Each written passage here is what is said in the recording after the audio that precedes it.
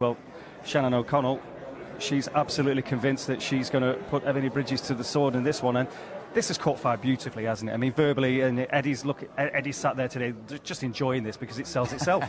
yeah, exactly. I mean, the old Australian grudge match. You know, they don't like each other. It's funny because they have never met each other, like Eddie alluded. But there's just they have this, now. They, well, they have now, exactly, and there's so much on the line.